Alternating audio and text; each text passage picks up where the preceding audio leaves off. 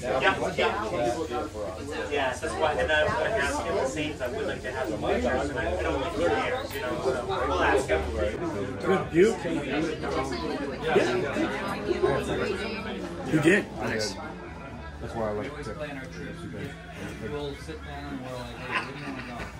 And then we'll shoot a couple of ideas. Then we'll look at plane tickets. And there's no more food. We'll buy It's gonna get- it's gonna get cold, nobody eats it. Yeah, she's getting fancy. I just took a picture of the clock.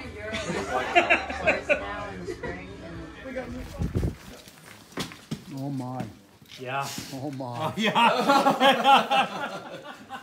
Yeah, it's a disease, that's for sure. No, it's not either. Well, it's taken over. Whatever it is, yeah. Now your wife wasn't mad about the vehicles, all the buildings you had to build. Right, that's the problem, yeah. Wow, That's the problem. I really appreciate Oh, this. You have well, no thank you. idea. Thank Oh, you. this is amazing. But it's a secret. I was never here. Yeah, come on in, guys. File right in. Oh my goodness. So, that vehicle, nice, most everything in here is World War II. Okay. That's a nineteen forty-four Studebaker Weasel. And they, they thought that we were going to have to invade Sweden, Switzerland, Norway, so they wanted something that was high flotation, I guess I'd call it. So it has two 22 inch wide tracks, but it's only 66 inches wide. So it has 1.89 pounds per square inch ground pressure. So it's like an eight pound cat. So if you take that out in two feet of snow, it sinks down about eight, nine inches. And then they discovered that, oh, it'll go good on sand, it works in swamps. This one isn't, but when they were new, they were amphibious. You got that running? Oh, yes. Oh, yeah, that's a lot of fun. Yeah, you just point that and go. Yeah. Yeah, yeah, that's a lot of fun, yeah. Yeah. So they thought that they were gonna, like I say, invade snow country. So they'd take the GIs out, they had loops welded to the back of it for tow ropes. So they'd haul fifteen or twenty guys on skis. And uh, when the guys got out of it, they said, oh, stop here, we have to do our whatever. They jump out and sometimes they go right to their armpits in the snow because they didn't realize how deep it was, you know. Nice. So then this is a 1941 Dodge Command car. So this was an officer's vehicle. So it's got two, like a camel's hump. It's got two door openings in it, two scallop door openings in it. You could buy these right after World War II, $450. Never issued. Still had the doors wrapped up in the plastic on the seat. So the common thing to do was, because as it is, it's such a, what do you do with it type of a vehicle, the, the people that bought them, they would cut the body off right behind the door, throw the tail end of it away, put a cab on it. This one had a record boom on it. So $450 back in 1945, 46, they had to have something they could make money with. It was the first four-wheel drive they'd really seen because the, when the Jeeps came out, they were the first four-wheel drive. And when they surplus them, then the civilian market got into them. But up until that point, just the GIs had seen them. So Joe, Well, that's now- a power wagon, right? Is that a Well, it's the beginning of the power wagons, Okay. yes. Yes, because power wagons started in 45. okay? But this is uh, the grandfather to the power Yep. wagon because that truck, That's a 1943 command car, Dodge command car. Okay. So they lowered the profile a foot because the enemy recognized this as an officer's vehicle and it was a nice target, so it's tall. Yeah. So they lowered it a foot, shortened it about a foot, and uh, that's more like the Power Wagon with the frame and the, the fenders and the Yep. flat hood. And, and then this is uh, 41 Dodge Carryall. This is a half-ton carryall. So this would have been like a base vehicle, uh, radio vehicle, and all of the windows rolled down. Um, and it was just a civilian truck that they put flat fenders on instead of the big bulby civilian-looking fender. That's all they did to it, made it four-wheel drive. And then this is uh, 1951. This is not World War II. This is Korean era, but this is a 51 M38 Jeep. So when this was new, uh, 24 volt electrical system, all waterproof ignition. I have one done over in the other building. I'll show you. But it has valves in it. There are valves in the plumbing.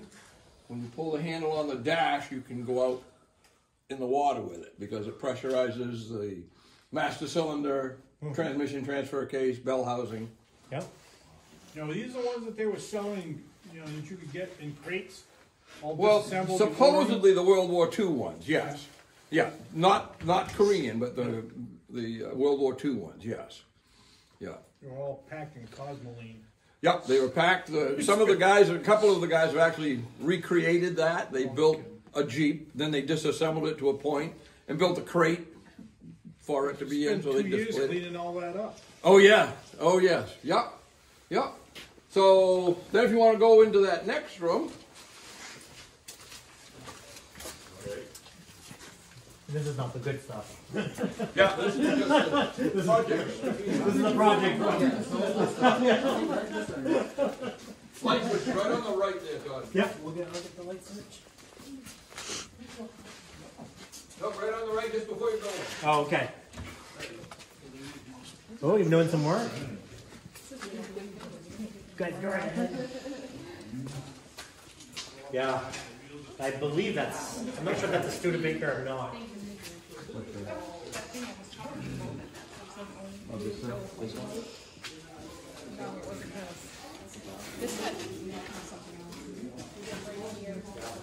You picked it up.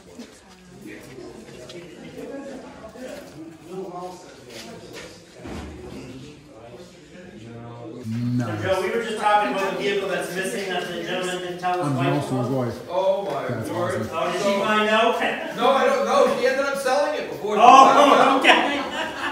So this this three quarter ton command car in here, I had a fellow from Georgia call up five or six, seven years ago and wanted to know if if I found one, he wanted me to tell him because he wanted to buy it and restore it. He wanted me to restore it for him. So he found one in Connecticut, and I went down and picked it up and I brought it up here. He lives in Georgia. So every month I'd send him a bill with a CD so he could see the progress. It took me about three years. And the whole time I'm working on it, he says, Have you figured out what we're going to tell my wife yet? Oh. it's like, No, Keith, that's not me. That's you. That's you. So I got the car all done, and it sat here, for one reason or another, sat here for maybe two years. And I said, so Keith, I said, surely you've told your wife about this command car. And he goes, oh, he says, we'll cross that bridge when we come to it. I'm like, yeah, okay. you cross that bridge, I'm not going to. But he ended up selling it to a fellow in Pennsylvania, so it never went to Georgia. His wife didn't have to- oh, It last Unless year, she so- did and he had to sell it, but yeah. M38A1, so this is also Korean era. And this has the overhead valve engine in it. This flat fender would have just a four cylinder, or flat end, four cylinder, the L head. This would have the F head. Uh, So they were building, they built both of these in fifty-two, but they only built, they stopped in fifty-two on the M thirty-eight. So they had a little bit of an overlap. Uh, The black Jeep is a forty-nine CJ2A that has just been worked over and over and over. So, uh, I've given that to my daughter down in, they just bought a farmhouse down in Bowdoin with hundred and fifty-three acres. So that's gonna be the farm Jeep. So they'll be able to play with that. Um, So that is a World War II, that's a nineteen forty-one white half-track. With the white, yeah. And it has a box that wraps around the back end, ten troops can sit in. And I have a floor in the other building, I'll show you. Uh, It's still all original World War II paint, that, other than the orange, no markings on the original registration number. So, I've got all the original armor for the back, most of it's still in original olive drab paint. So I'm gonna build a barn find half track. I'm not touched, that's not gonna, nothing's gonna get painted, it's just gonna stay as it is, but it's gonna look like it's a barn find when it's all done. It won't be a rat rod, it'll be all correct and straight and clean. And then that big ring leaning up against the wall in front of the half track, the right-hand side of that bolts to the windshield frame, and then the ring comes all the way to the back of the half track, and that's called a skate rail. And the skate rail has a trolley on it that you put a 50 caliber machine gun in. And you, the, the gunner could walk all the way around the half track shooting 360 degrees. Oh, wow. Now, do you have that part? Not yet! Not yet! Just curious. Yep, soon. soon as I get my button, yeah. Yep. Now, these restored, now, these, No, this is, somebody had restored this one probably 15 or 20 years ago. okay. And that one, yeah, probably about the same thing.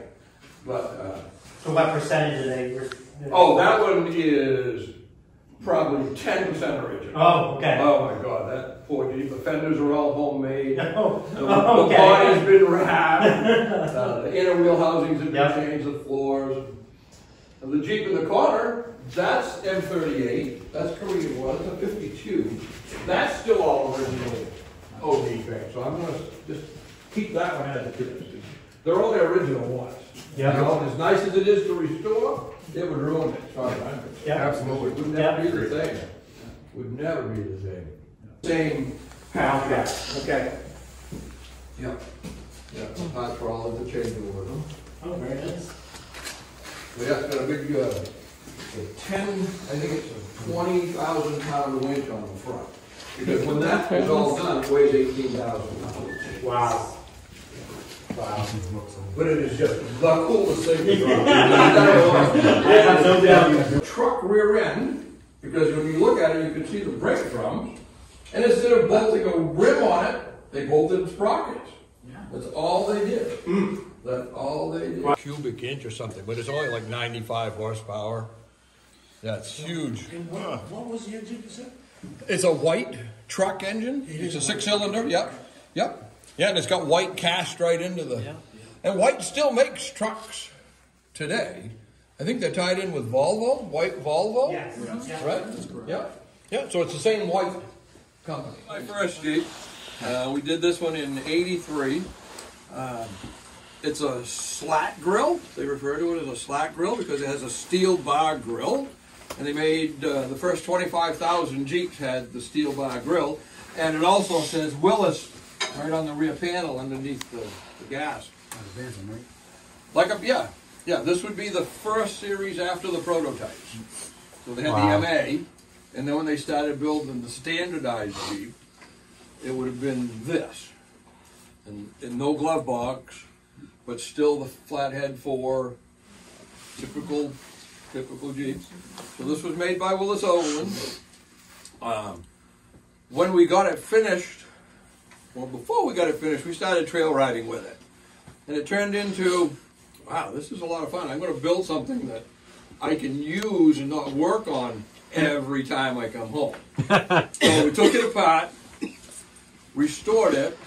I found this color paint up under the dash, so I assumed that it was the correct color. And we have two girls, and Crystal was probably 10 at the time. And I said, well, girls, we got to come up with names for the Jeeps. All the Jeeps need names. World War II Jeeps, they all had names. So Crystal looks at it, she goes, you know, Dad, she says, it kind of looks like pea soup. She says, she says, I'd be really honored if you would name it Pea Soup. okay, so how can I not name it Pea Soup? You know, so that's how Pea Soup got its name. And Crystal was the one that came with you to Pittsfield, right? Yes. that? Yep. Yes, Crystal and Craig. Yep. Yep. So this is a Willys. Behind Todd, we can right out there if you want. What year is that one? A This is a 42. This 42. Is, this is January 19th, I think, of 40. Yeah, I know there's a specific date on one of And them. And then Crystal's, that's Crystal's Jeep. The, the light switch right behind you. Got it. This is my officer's car. This is an car right here. This is a, no, no, but that's, a, that's my, that's, I bought a Corvette.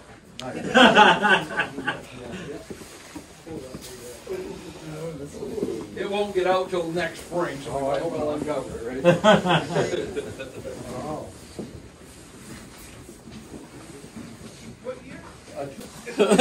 right. So this is a 1942 Ford Jeep. So when Uncle Sam was going to replace the motorcycle and the horse, they put out bids for a four-wheel drive something. And Bantam, Ford, and Willys all came in with prototypes. Willys eventually won, probably because of the 60 horsepower engine as opposed to the 40 horsepower in the Ford. So Uncle Sam said to Ford, okay, Willys only has one plant. If they get sabotaged, we lose all of our production. We'll get Henry Ford, we'll get you to build them because you have three plants that you can use. And Henry Ford said, very begrudgingly, yes, I will, because he just lost the bid.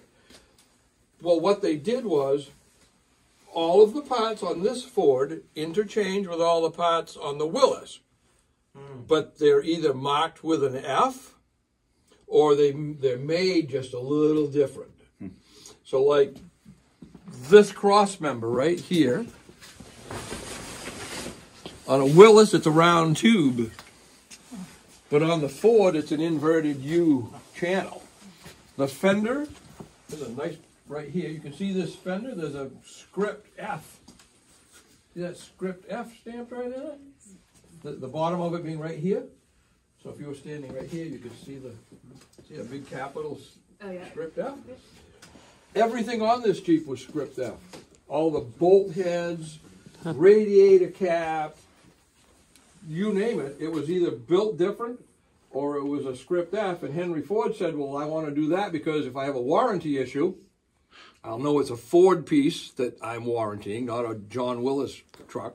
And if that Ford Jeep saved the guy's life, when he came home, he's going to buy a Ford and not a Willys. So that, those are the two theories behind Probably it. more towards the latter than the first. Yeah, I'm thinking so too. Yeah. Just because of arrogance. Yeah. So this is a 42. So this was this was delivered to uh, the government on December 24th, 1942, and we have paperwork where it was actually in Germany, World War II. And the guy that I got it, the guy that drove it, turned it in at the end of the war to the motor pool. He bought it. It went back to Pier 16, New York Harbor, sat there for 30 days in quarantine. Then it went to Connecticut where they lived. Then they moved to Belmont, which is over near Belfast. And he passed away in 92. The neighbor bought it that fall, and I bought it from the neighbor in the spring of 93. Nice. Now, this one is, what's the percentage on this one restored? This one I had restored, I restored, and we had it judged last summer in York, Pennsylvania, 98.885%. That's incredible. So this one is really, really, really, really, Across the really. Providence. So, basically the fourth owner. Good. And what was the flaws on this one, not, not to be hundred percent restored? I didn't fix the radiator tank. It's a Ford Mark tank, and I didn't want them to take it apart to to fix it and then screw it up. You know, take the chance. So I said, no, that's good. Um, oh, there were stupid things like this. I had the carburetor's a new rebuilt carburetor, show carburetor. The judges looked at it. They go, "Oh, that linkage, it's too shiny." This is too shiny. So that's how picky okay. they are, yeah, Yep. Yep. Yep. And uh, So you got like all the proper hose clamps and everything else on it? yes, yes. Yeah. Oh, that was one of the things too. They said, "Oh, you don't have the Ford oil lines. No. You can't buy Ford oil lines." Okay, I understand that, but that was, I mean, they got to that level of picking at it. I had it judged a year ago, and we got ninety six percent, and that kind of made me mad because it was. I really strive to do. They picked out things like all the bolt heads, like all these bolt heads have an, a script F cast into them. So while I'm putting it together, I lined them all up. You know, lined them all up. Oh. oh no, they would never do that at the factory. Oh. Really? okay. so they took some points off for that, Oh, and man. Wow. yeah, Taking points off because you have OCD. That's pretty bad. yeah, yeah, exactly. yeah. I feel, your- I feel your pain. yeah, yeah, yeah. So this one is just six volt. This one's just your typical six volt Jeep. Um, being World War II, I don't know, but all of the the headlights on the Jeeps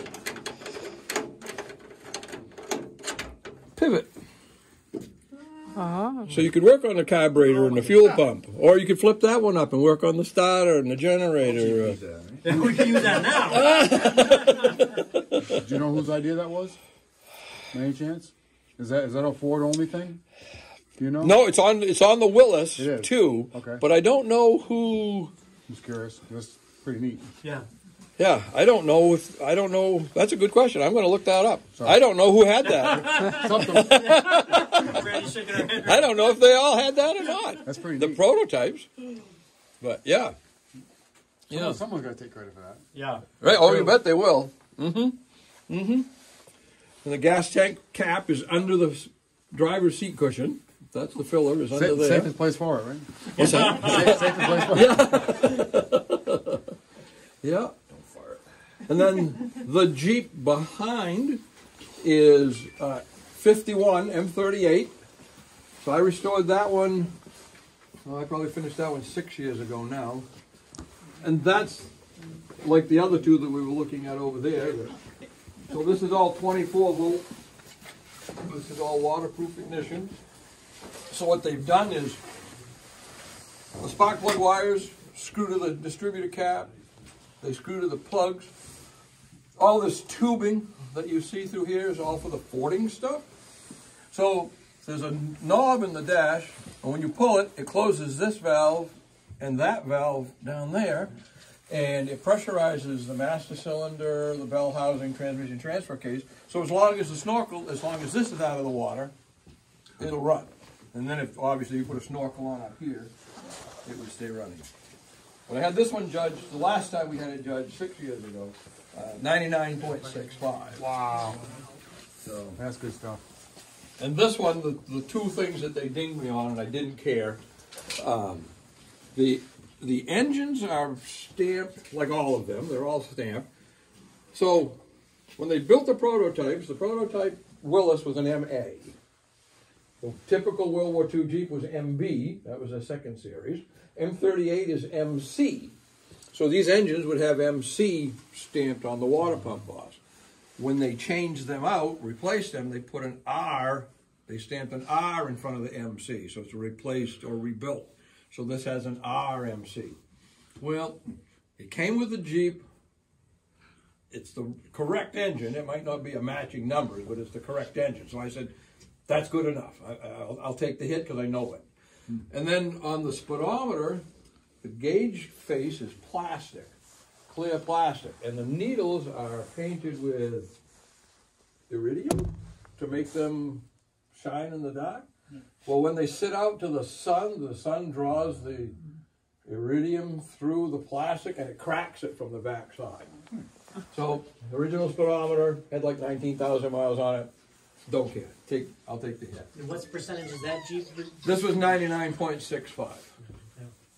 Yep. I'm surprised they dinged you on the water pump, even though it's a it's a correct. Because, but it's not factory.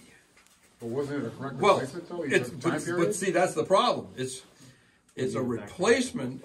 It didn't come out the factory door with a replaced engine in it. Somewhere in its life, it got the engine changed. even though it's a correct replacement, it's Right, not a factory. right. So when we judge Jeeps, because I, I do the judging too. Yep. We have a class called motor pool. So that would be correct for a motor pool. Yep, I mean- If somebody put a CJ two A engine in it, that wouldn't be correct. But motor pool is anything like the engine that would have been correct. Yeah, I see. That But makes sense. factory, it has to be just as it rolled off the assembly line. Just shows you how picky the judges are when they're, you Yeah. know. Mm-hmm.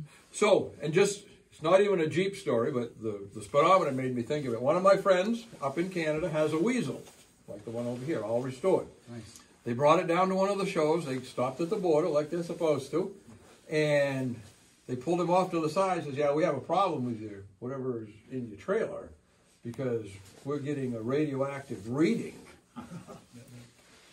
And he says, "Okay." So they had scanned his trailer, his enclosed trailer, from the outside, and they went in the trailer with a hand scanner, and they go, "Oh yeah, it's just your speedometer." Interesting. So that's how picky or how accurate that equipment is. They use they picked up the radioactivity coming off from his speedometer inside an enclosed trailer. New Hampshire State Police, I don't know if they still do or not, but back probably about fourteen years ago, they used to carry those in their car. And they stopped a vehicle on, uh, I don't know what the highway is, it goes out of Portsmouth to Dover. But they stopped the vehicles because it set off their monitor in their, in their vehicle. And they had to get people out there and go over the. As he was going by them. Wow.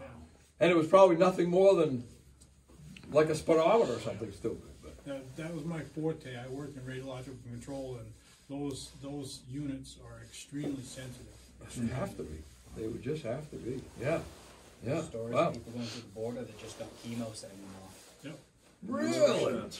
We have to give our veterans letters. When we, uh, They when have we had tests. people that had, that had, you know, um, testing at the hospital with isotope, uh, they had to, they had to go up to the medical clinic and they had to get scanned and scanned and scanned every, you know, every week or so until there was no reading on them before they could go back into radiological work, because they have to go through a control point and frisk out.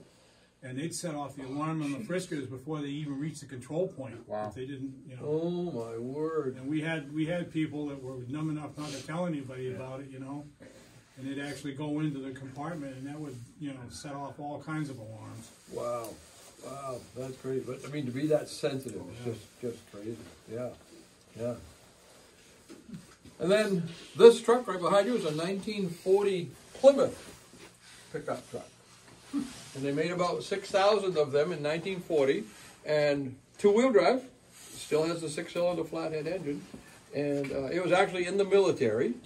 And what they did, the truck was green like that brake backing plate over on the other side, that bright green, with black running boards. And what they did was they took the hood off, they masked out the engine compartment, they took the hubcaps off, and then everything they could see, they sprayed olive drab. So when you put the hood up, it was still that bright green. when you looked under the cab or under the pickup bed, it was still the bright green because you couldn't see it standing here just spraying. So if you looked up inside the fenders this way, they would be black. So if I get to it, that's how I'm going to restore it. I'm going to restore it right back to that paint configuration because it has uh, hand stenciled USA registration numbers on the hood, uh, unit markings, U.S. Army on the tailgate. So, so yeah, so that's going to be a, and it was still had the chrome down the hood and across the the grill, and it's got Plymouth in in script, chrome Split script. window too. Yeah, the rear window, and the rear window has uh, four welded nuts, two top, two bottom, for a brush guard. Wow. So, I mean, that was a military thing. It wasn't civilian by any means. So, uh, yeah, so there, and then this chassis right here is.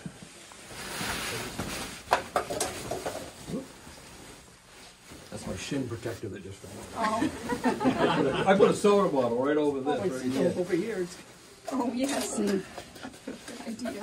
Just like that, there. So this is nineteen forty-one. So this one is going to look just like soup. And this Jeep, when I bought Soup, or what is now Soup, there were all kinds of brass tags on it. Tag on the engine, transmission transfer, front end, rear end, and the tub, saying that it had been through a government rebuild in 1945 in Modesto, California. So what they did with these Jeeps is they would take all these wrecked Jeeps, they would have a fee, acres and acres of wrecked Jeeps. And then they would have a factory, it might be a mile long. And they'd say, okay, go bring in a Jeep. So they'd drag a Jeep in and they'd start disassembling it. And every point they took off certain pieces until they got to the end when it was just a bare frame. Everything they took off that they could reuse, they rebuilt it. The pieces that were junk, out the door.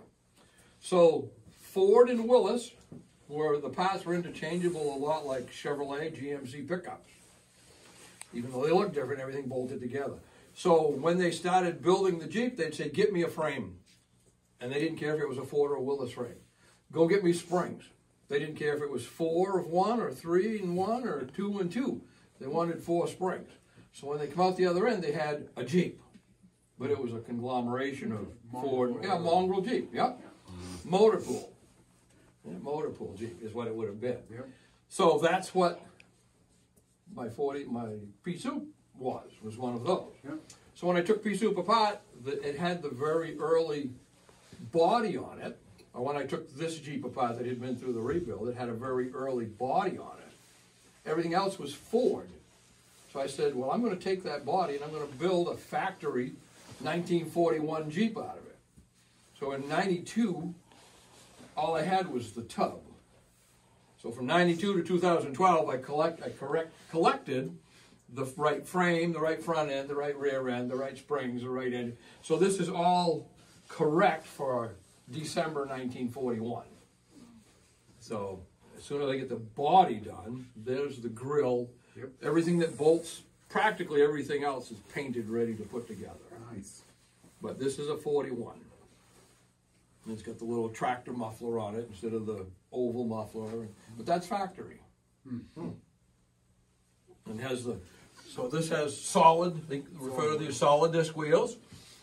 The typical Jeep has combat wheels, they're bolt together, rim. So these are all, that's all correct for, How hard is it to find parts for that? Really hard now, really, really hard. You can, I'm a purist at heart, so everything I put on it, I want it original. Yeah. If I have to put something in reproduction, I will, but I really don't want to. No. So, like hoses and spark plug wires and wiring harness, that type of stuff, yeah, that's, you- it's gotta be new. Brake stuff, all has to be Yeah, new. new all stuff gone by. But all the metal, all the sheet metal stuff, yeah, I'll, I'll chase down the, the hard to find stuff. And- Just because it's what I want. It's like Crystal's Jeep, this Jeep here. I don't think there's a reproduction, other than wear items, I don't think there's a reproduction piece on it. Nice. Wow. That's amazing. The attention to detail and. Oh, it just gets worse. Yeah, I'm sure. You know, you did this nice on this one, you should be able to do better on that one, you should be able to do better on the next one. Eternal struggle. Oh my Tire God. tread pattern. Yes, and see the difference between uh, Goodyear and Firestone. So, and again, the judges look for that. If you know, if you got the wrong tire brand on there, okay, well it's the right tread, but they didn't have specialty tires, so you get the thing on that. and it's like, okay, this year I did, next year I won't. You, you'll teach them. yeah, yeah, yeah. So I can take you down in Yeah. one more room, Yeah. one more building. Right there. So then, this is just another M38A1 Korean era. Uh, that's a civilian trailer. So the only difference with the civilian trailer is that it had a tailgate that folded down. All the military stuff, they were fixed. Uh, the Jeep in the corner on the right there, that is a 50 CJV 35U. So technically, it's a prototype for the M38 Jeep. It's 6 volt waterproof. So they were using a lot of CJ3A and uh, 2A and MB GPW stuff. and stuff that we now look at like M38. And they built a thousand of them, and they were used by the Marine Corps as a radio jeep.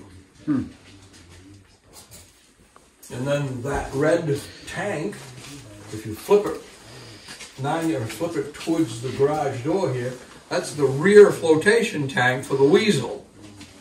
Because it would float. So that and that had rudders on the back of it. And then this is the front flotation tank. So this is the top. So it looked like the bow of a boat. So they had a front flotation tank on them. And then we go in here. This is this is where all the fun happens. Not much to look at. It's no fun at all. Yeah, it's warm in here. Yeah. Aha. And this is where it all takes place, right here. Yep. Smells like it's recently a body shop. Yeah, well, and I've been, yeah, it's, it was storage for a long time, and then it turned into restoration stuff. So this is the floor for the half track. This is the rear, so the passenger seat would be right here. Driver's seat would be right there. And the troops would pass through here, and there were cushions, cushions right here, then the gas tank sat right here, so they would lean up against the gas tank. And what's really weird about the design of this thing is it didn't have a back door. So the only way you could get in was over the sides or out through over the seats and out the door. Which they did change it on the next series. They put doors in it or a door in the back. But uh, yeah, so this I'm trying to get square because this is well, you can see how bad that piece of steel is right there. Took some damage. Well, this one was almost as bad, and these are the bumpers. These would these bolt down here. That's the rear bumper. So I gotta get that squared away so that I can get it back on. I want to get it on the half track because then the armor goes on. Then it looks like a half track. Then it'll look like a half track. Now, do you have a hard time getting the technical work documents to be able to restore this stuff, you know, to, No, the uh, manuals are available. Most, I mean, you can get almost every manual for all these vehicles. Um, and there are a lot of guys in the hobby that have done lots of homework Yeah. and, and uh, written it down. It's available, in, you know, thank God for the internet. But you can get all that information. Some of it good, some of it not so good, but but you can get parts. They make almost everything here. They make reproduction. But again, I don't want reproduction. I want the real thing. You know? Right. So, but no, it's all all available, and it's just how deep your pockets are. You know, and how fast you. If you don't, if you're not in a hurry, you can chase it and find it for cheap. But if you want it tomorrow, yeah, you can still get it tomorrow. It's just going to cost you a fortune. Yeah. Yeah. Yeah, yeah. And then this is my current project. So this is a, it's just a World War II Jeep trailer. But this trailer was pitted just from one end, I mean just pitted. Nothing, there wasn't a square inch on it that didn't have pits on it. Uh, fill and sand, fill and sand, fill and sand. And I built this rotisserie. so it, I can turn it and I, I can, you know, frontwards, backwards, I can lift it up, I can lower it. I've had Jeep bodies on here, I've had the command car body on here. This is a lifesaver. Wow. And all it is, two engine hoists. Oh wow. That's all I did was just reconfigured, because there's your jack. Yep. This would have been the arm, right? This this much of it would have been the arm that was out. Yep. So we just turned things around and snowmobile trailer tires and Spindle. yeah, spindle off my Jeep. so yeah, and uh, and you just it comes apart right here. So this is constant, and then this I bolt to whatever I'm working on, Jeep frame or Jeep body or command car or. But yeah, that'll Wow. been right around 360 degrees. And then this is the Necessity, the mother of invention. this is the Jeep. This is my 41. So this goes on the chassis that was up in the other building. Yep. And we used it for five or six years, and it had patches on patches. Everything was pop riveted from you know back in the '80s. So four or five years ago, I said I'm going to get going on this. I dig it out, and it's like, who put all these freaking patches on here? Well, it was me. You know, it's like, holy crap! You're doing a good job. The dash was full of bolts and, and uh, machine screws. It was like, what was that? And it was, I was just filling holes so I could paint it and it would look okay. But not anymore. Not anymore. So, so I've got uh, I've got to put a new rear panel on this. I've got to put new floors, the gas tanks on. But the half track got in my way. That was why this is in the corner. Awesome. So, so yeah. Joe, thank you very much for showing us. Oh, you're welcome. I'm glad you guys came Yeah, over. I know, very entertaining. Cool. Good. You should charge money at the door or something. Absolutely. Yeah. Yeah, so if you guys find any flat fender anything, cheap, Dodgers, let me know because I'm always buying stuff. Working on it, selling it to somebody else. Or people are always looking for Jeeps and trailers and Oh yes. Yeah. I think, stuff. I think that tastes awesome. Well, that was amazing. The visit to that older fella here, and um, I can't say where. Got some amazing old stuff. Wealth of information.